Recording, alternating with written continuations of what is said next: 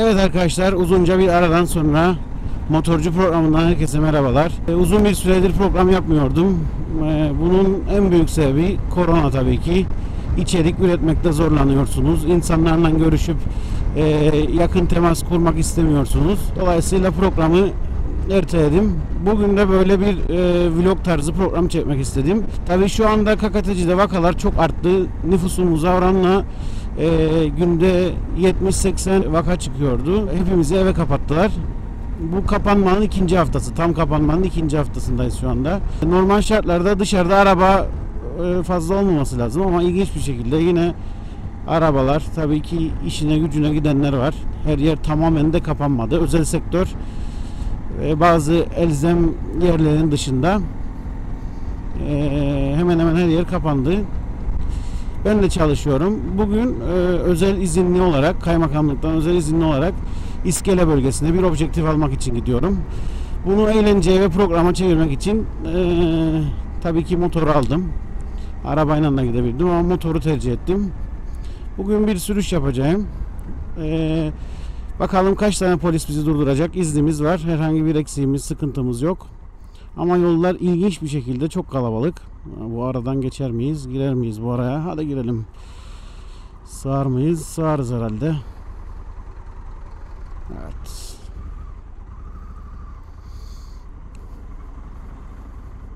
Böyle aralara gelirken dikkat etmek lazım. Çünkü e, sağa sola kayarsa araba e, başınızı belaya sokabilir.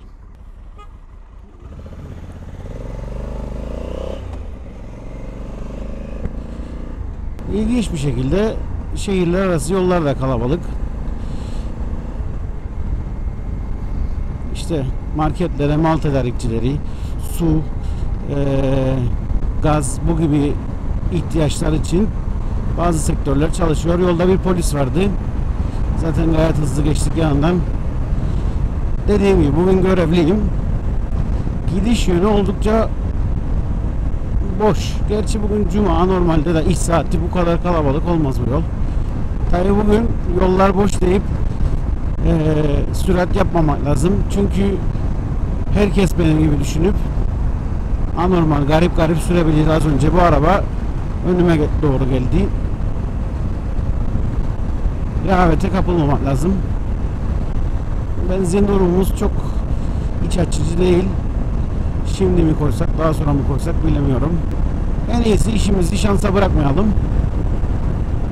Koyalım. Restoranlar kapalı. Sadece motorla gideceğim yere gidip malzemeyi tedarik edip geri döneceğim. Şimdi yolun başında koyalım yakıtımızı kafamız rahat olsun.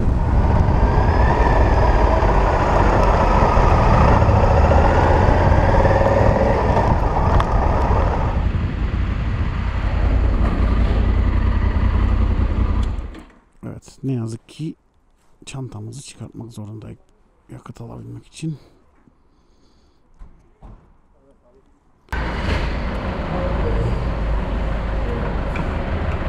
Tamam ne yaptı? Hassas bir. Herkes böyle düşünmez ama. Adam atar kaçar. Yok. O motorlu biraz da motorlar. Ne olur olmaz.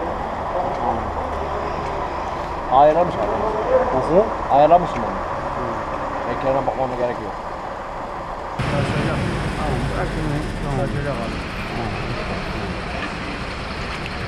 Biz alır dedik ama olmadı.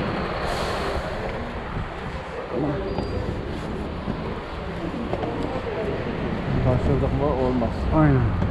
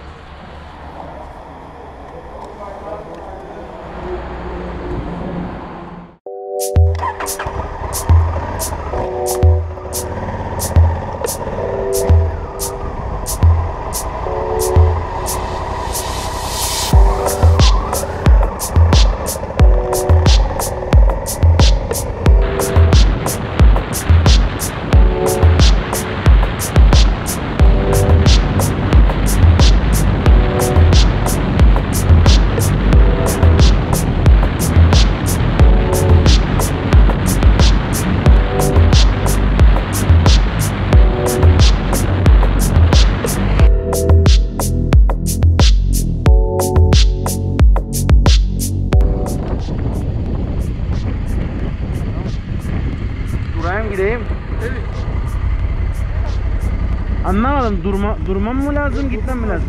Efendim? Durman lazım, ona geç telefon durman lazım. Ha anlamadım. Yani böyle yaptım. nereden nereye? Lefkoşa'ya iskeleye gidiyorum. Kaymakamlıktan iznim vardır. E, Ne şey. e, materyal alacağım. Cumhurbaşkanlığına çalışıyorum. Görmek ister misiniz? Ne alacaksın? Materyal alacağım. Objektif alacağım. Teşekkürler.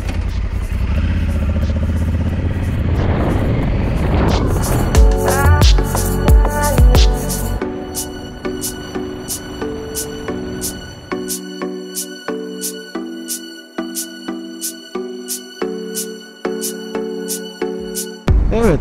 eee, hayat bir şekilde devam ediyor. Lockdown dedik, kapandık dedik. Eee, sadece markete gidebiliyoruz. Eczaneye gidebiliyoruz. Kasaba gidiyor biliyoruz. Aa, çok güzel ya. Bir fotoğraf çekelim burayı.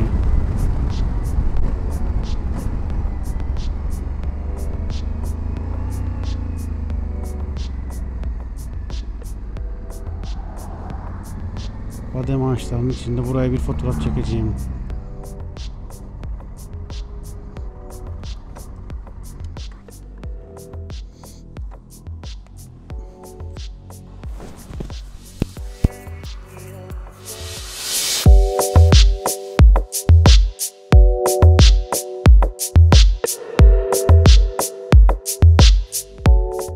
Badem ağaçları çiçek açmış. Böyle yolda giderken yeşilliklerin içinden Gönen Dereli bir çoban abimizi bulduk. Fotoğraf çekerken unuttum. Sordum nereydi? Unuttum. Şimdi aklımda değil. 13 yıl önce gelmiş Türkiye'den. Hayvancılıkla uğraşıyor. Burası da onun mandırasıymış.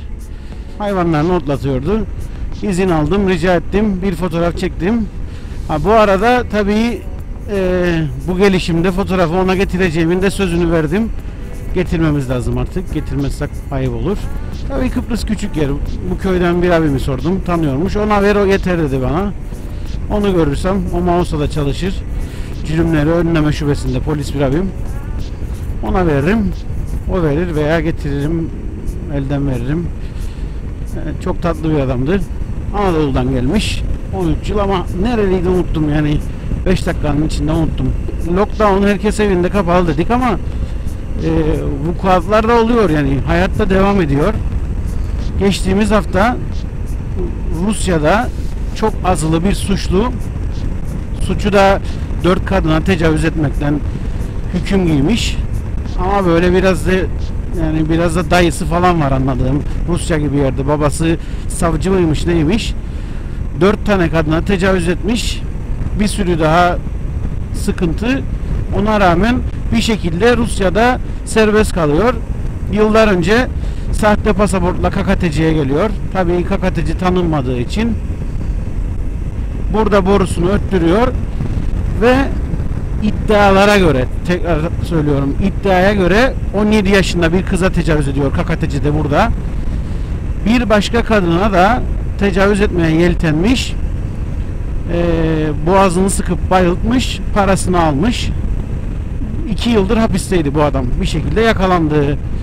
Geçtiğimiz hafta bizim bu Gülen sapık e, tecavüzcü Rus bir şekilde hapishaneden kaçıyor.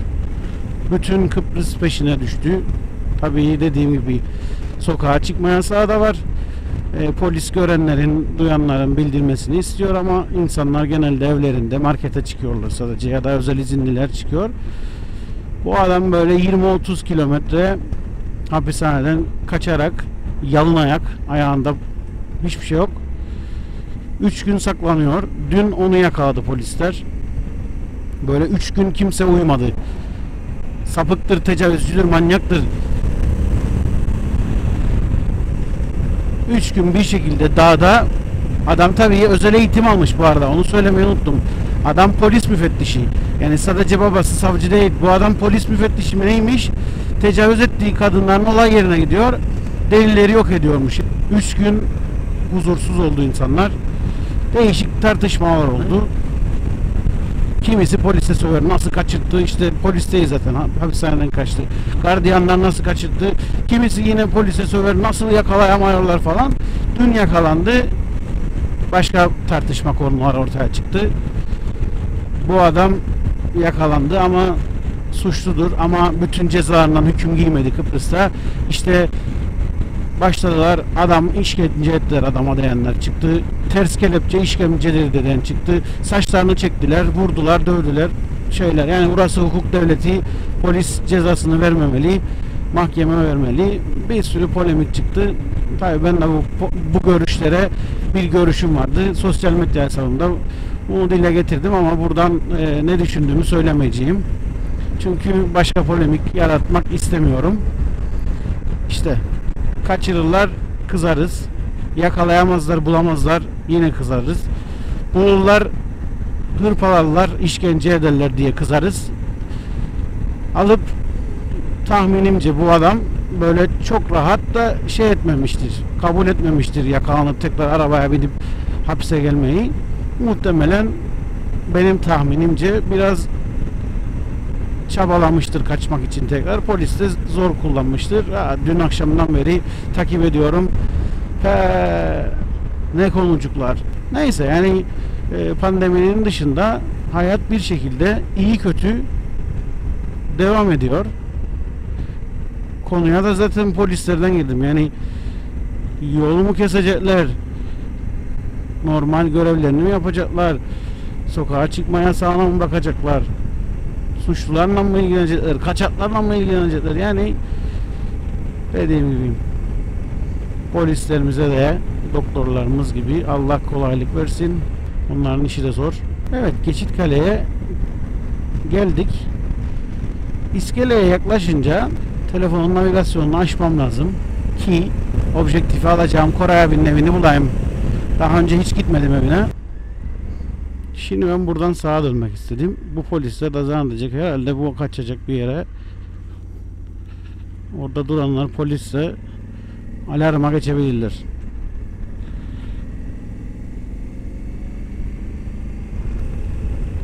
Evet herhalde amcamız izin aldı. Çiftçi ilaçlıyor tarlaları. Kim bilir. Geçitkale'den alan içine doğru dönüp Yeni Boğaziçi'den İskele'ye doğru gitmeyi düşünüyorum. Doğruyu söylemek gerekirse birazcık yolu uzattım ama o kadar da olsun.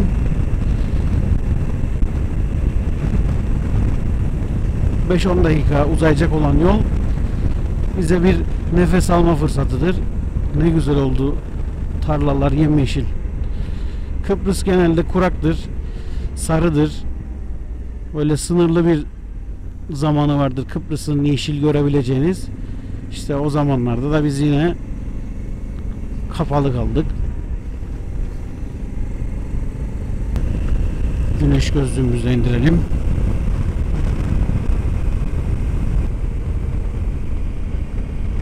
Aa yırtıcı. Bu ara eskisi gibi kuş fotoğrafına merak salmaya başladım. E bu kartal bildiğimiz kartal Bonelli Eagle. Aa bu kadar aşağı geldiğini çoktandır görmediydim. Tavşancıl namı değer. Bu kartallardan tabi siz görememişsinizdir çok küçük olduğu için. Daha doğrusu çok geniş açı olduğu için siz görememişsinizdir. Bu kartallardan 11-12 çift kaldığı tahmin ediyor adanın kuzeyinde. Böyle dağdan bir termik hava alıp aşağı gelip sıçan fare bazen tavşan avlayıp geri dağ yerine dönüyor. Yani burası onun için oldukça düşük rakımlarda. O yüzden biraz şaşırdım. Evet, şimdi köy yolları biraz karışıktır. Bakalım bulabilecek miyiz? Evet, buradan İskele. Bizim de gideceğimiz yer İskele.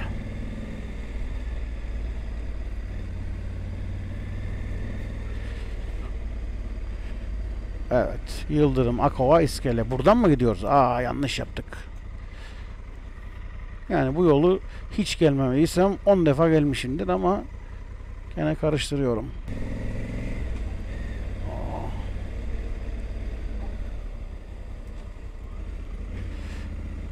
Teyze, nenecik. ya öylesine selam verdiydim. Kadın şey etti. Bu kimdir acaba diye. Bazen böyle mutlu oluyorlar. Selam veriyorlar bu yaşlı insanlar. Bazen kim acaba bu? Kim selam verdi? Niye durmadı? Kimin oğluydu? Kimin torunuydu? Bak amcam selamını aldı.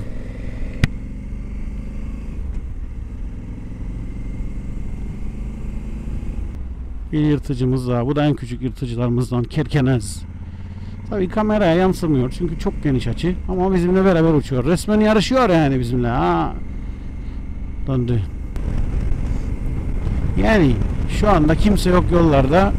İyi tarafı da var, bence kötü tarafı da var. Başınıza bir iş gelse, atıyorum lastiğiniz patlasa, ha, bu arada ne derler Türkiye'de şeytan kulağına kurşun falan. Öyle bir aksilik olsa kim gelecek, kim bulacak sizi, kim kurtaracak derdi var. Araba olmadığı için karşıdan gelip sizi birinin ezmesi daha düşük ihtimal. Siz dikkatli olacaksınız. Doğru dürüst söyleyeceksiniz. Aman yollar boş basayım falan filan. Bu alemlere girerseniz riski artırırsınız. Hele Allah korusun böyle zamanda Allah kimseyi hastaneye düşürmesin. Motosiklet riskli iş. O yüzden ben de aileye hiç söylemedim. İşim var motorla gidiyorum. Hiç söylemedim çünkü onların da huzuru kaçacak.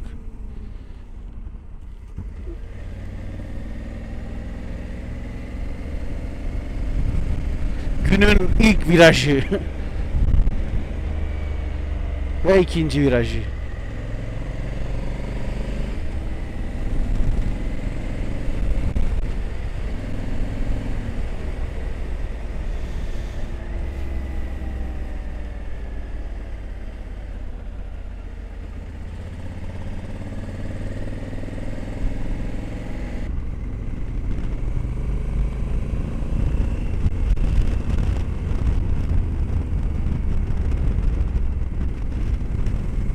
Yatalım.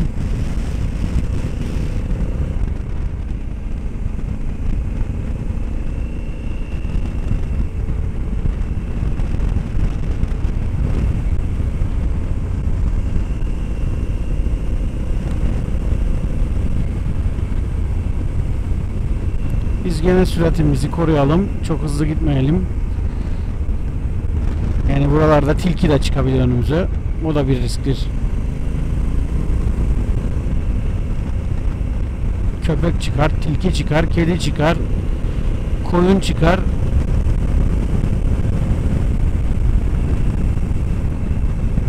Yollar bomboş. Arabalar sayılı. Birkaç taksici.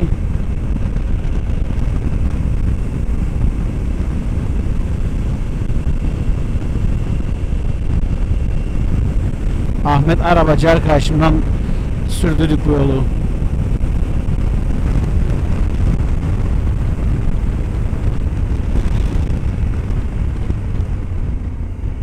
Yıldırım geçik attılar. Evet.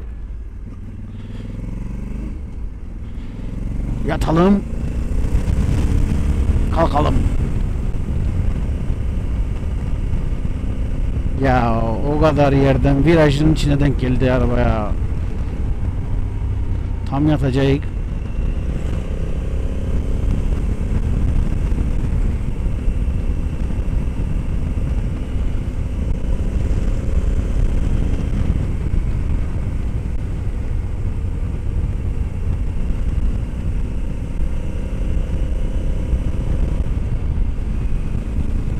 Atlılar köyüne giriyoruz. Tabii böyle köye giderken ekstra dikkatli olmak lazım. Çünkü çocuk çoluk sokağa çıkma yasağını fırsat bilip yolların içinde oynama ihtimali de çok büyük ihtimal. O yüzden biz süratimizi düşürelim.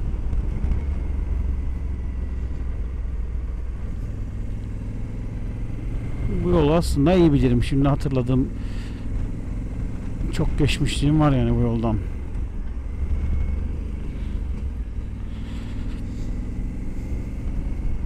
Kıbrıs'taki şehitlerin mm, bir kısmı burada gömülüdür.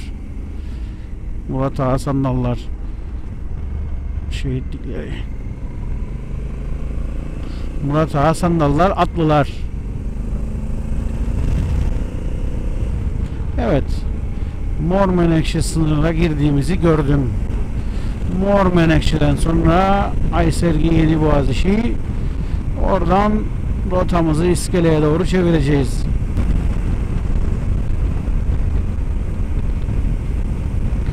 İşte böyle ara yollardan traktörler girip çıkar. O yüzden köy yolları tehlikeli olabilir.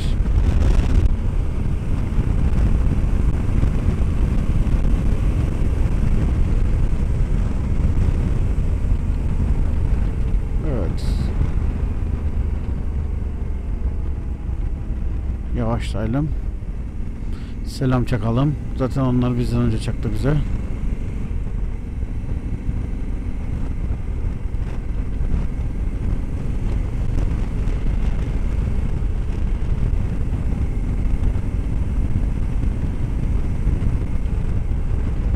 Evet, Mor Menekşe köyüne geldik. Mor Menekşe'nin nesi meşhurdur? Enginarı. Hop, kasisçiyi de görmedik. Uçtuk üstünden.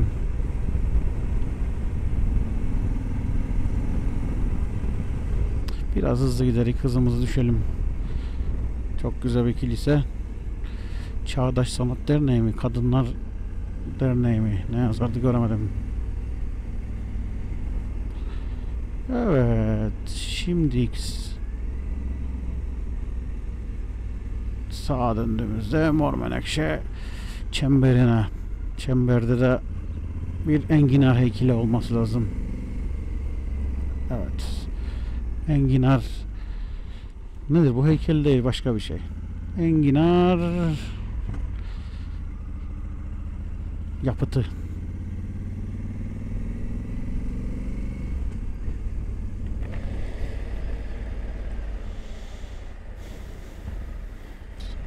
Sinyalini geç de olsa verdi.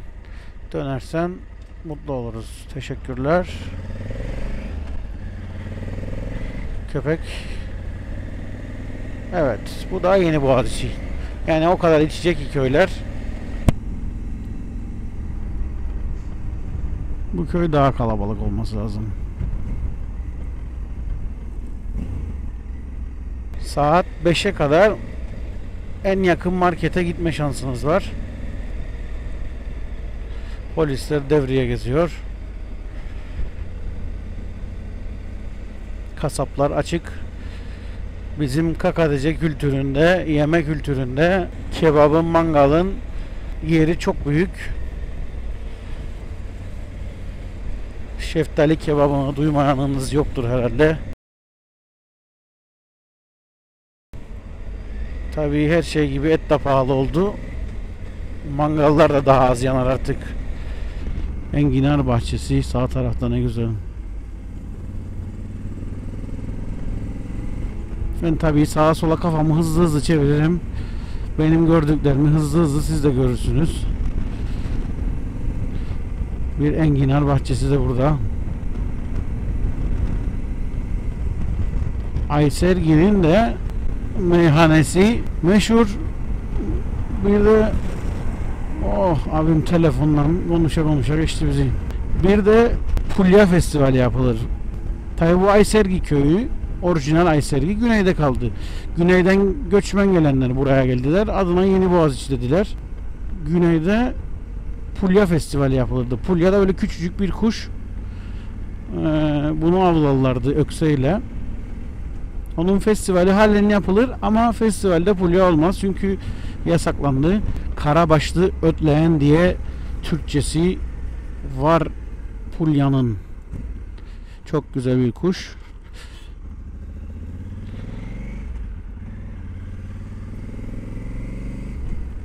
Genelde içkinin yanında tüketir bu köylüler bu kuşu. Ama çok yasak yakalanması şimdi. Ama söylentilere göre yine bulan buluyor. Kıbrıs'ta bu kaçak av zaten çok büyük bir problem. Bu küçücük kuşun neyini yerler diyeceksiniz. Ama Meraklısı çok, lezzeti çok. Yemedim dersem yalan olur. Ama yemiyoruz zaten artık. Eskiden, çok eskiden yemişliğim var. Çünkü siz yediğiniz zaman insanları teşvik de edersiniz. Avcıyım ama avcı olduğum kadar kuş gözlemcisiyim de aynı zamanda. İkisi aynı anda nasıl olur demeyin olur. Benim gibi kuralına uygun hem kuş gözlemini yapıyorum hem arada kuş fotoğrafı çekiyorum hem ava gidiyorum. Sevaplar ayrı yerde, günahlar ayrı yerde.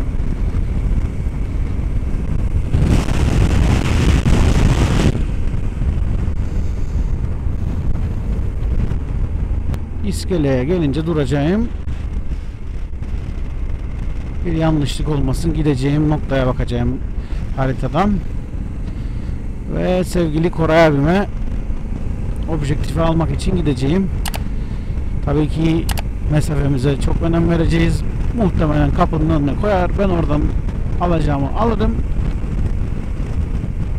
Belki uzaktan uzağa bir selam verip yolumuza devam ederiz. Yollar bomboş.